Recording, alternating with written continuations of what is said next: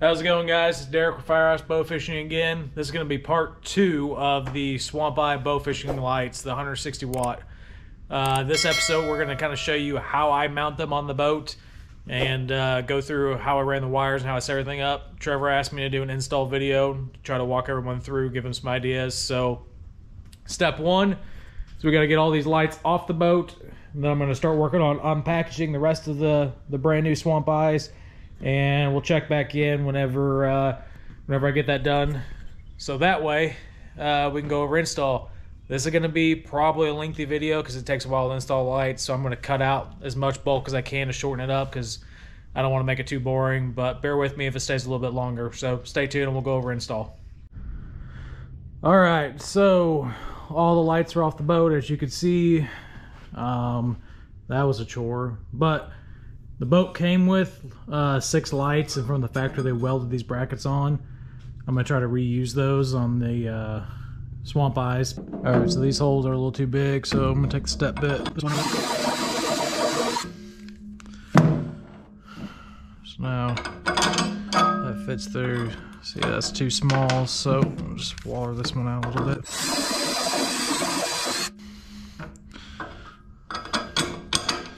Okay, good to go.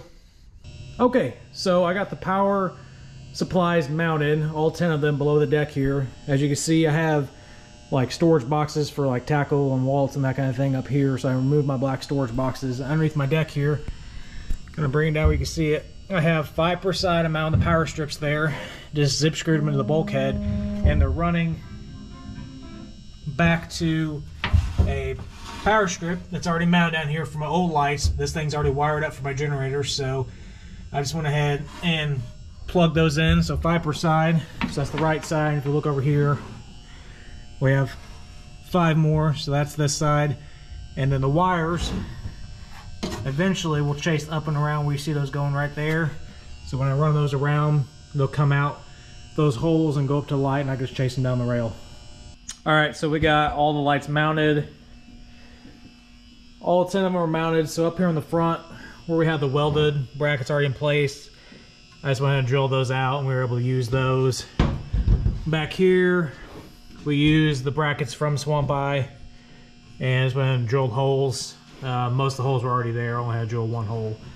But as far as wiring goes, we have the power wire coming off each one. That's a little bit confusing, but the power wires all chase down here below the deck. And then where I showed you earlier, they come down here and tie in to the power supplies.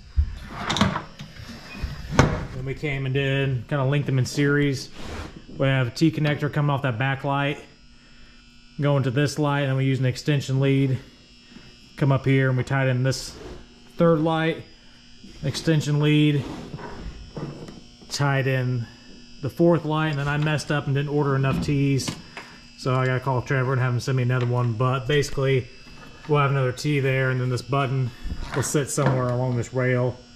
So we're gonna get that other T in the mail and clean this bar up and make it look nice and pretty and I'll come back and show you the finished product.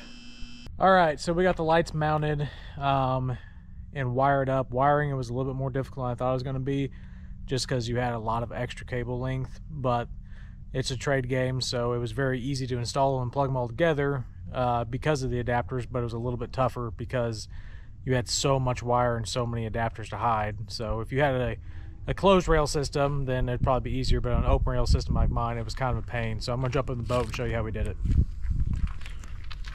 All right, so as you can see here, we got, this is the control wire for the dial, this is the power wire, or I may have those backwards, I can't tell it's in the wrapper, but basically put them in this protective coating and use some tape.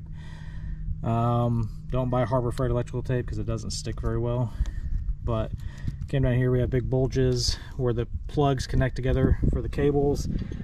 Uh, we just wrapped the T's down and spliced them in and basically just zip tied it and ran it down the entire rail system.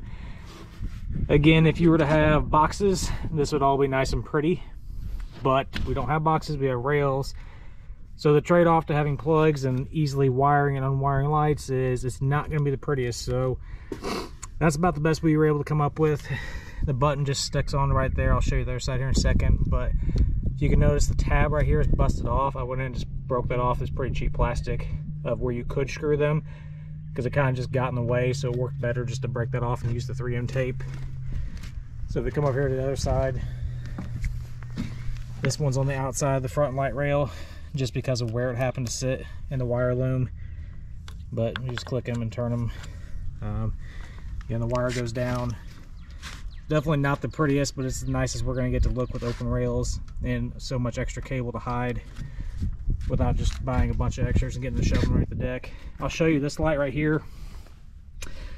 Uh, you can see the bracket, it's kind of dented and bent. I'll bring around the other side and show you.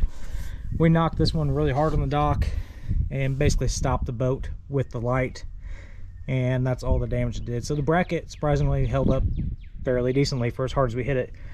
I only had these lights on here one time and already trying to damage them, but it held up. All right, so that's gonna basically wrap it up for the uh, for the lights here. Um, thanks for watching. Hopefully this helps you out if you have a rail system like I do. If you have a deck over or boxes, you're obviously gonna be able to hide your wires a lot better than I was able to. But that's what I was able to come up with. Um, if you're interested in bow fishing lights, make sure to get a hold of Outrigger Outdoors, talk to Trevor. Down here below in the uh, description for the video, there'll be a link to his website. And make sure to like, follow, and subscribe to us at firehousebowfishing.com. Uh, at the end of this, I'll put up a couple of videos of tonight that we'll go take and uh, kind of show you what the lights look like on the water from white to orange and in different water qualities. Hopefully we can find some muddy and some clear water to show off the lights. But Thanks for watching and uh, make sure to check us out, firehousebowfishing.com.